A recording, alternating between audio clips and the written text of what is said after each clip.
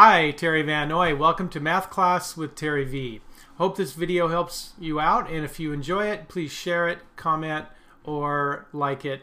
And you can also go to my website, mathpowerline.com. It's a math resource blog, uh, lesson videos for students, and other resources for parents and teachers. Give me a call or go to my website or email. All right, let's go to today's lesson. We're going to get into solving equations.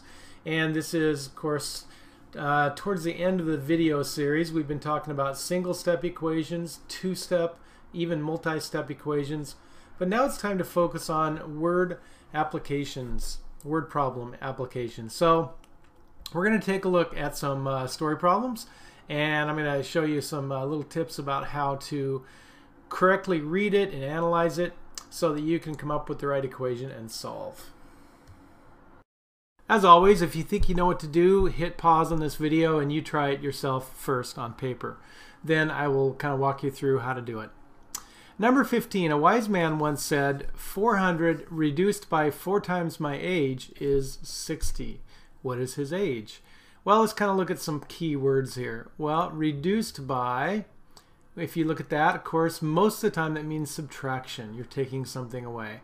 And 4 times my age, of course, is multiplication.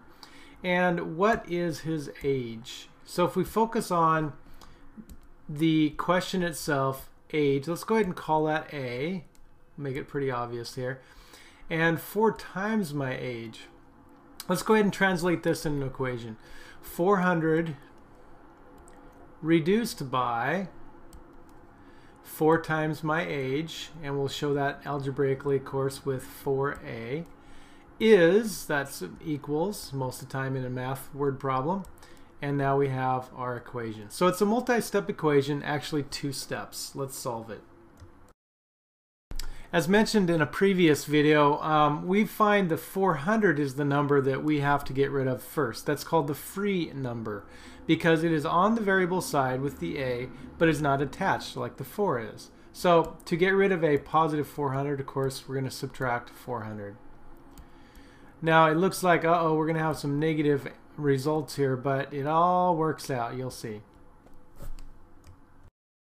So 60 take away 400 is negative 340.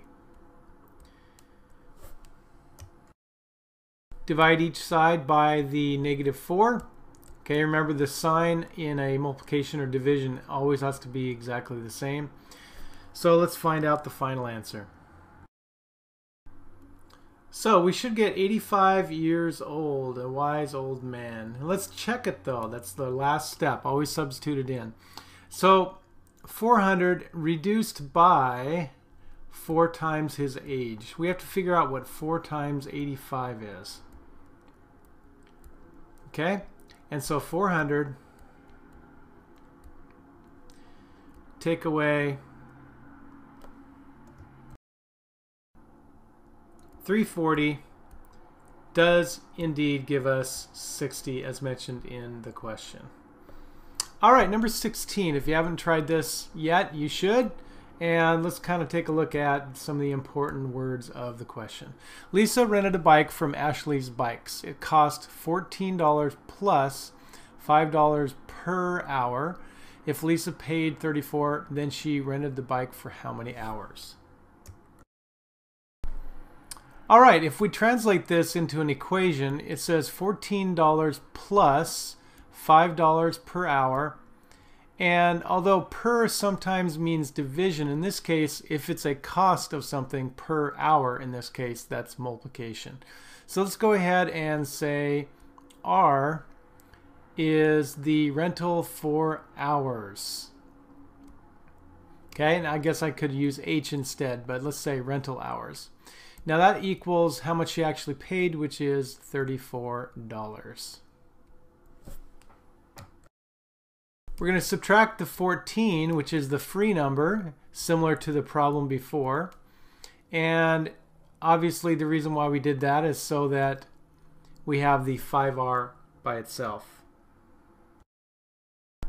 So 5r equals 20 and r must be 4. And if you reread the question there, it says how many hours, so it'd be our label there, four hours. Again, we want to check our answer, so let's put it in there. $14 plus $5 per hour. Well, 5 times the 4 hours we have, of course, would be 20. So it's $14 plus $20. And yes, that does give us 34 is what she paid for the rental.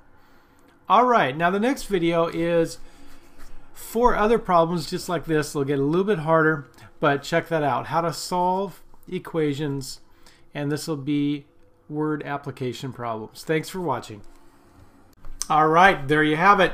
I invite you to go to my website now, mathpowerline.com, or email me or give me a call. The way I work best with students is live online in my classroom. So if I can help you in any way, answer some specific questions, the first lesson with me is free as I show you how everything works. All right, study hard,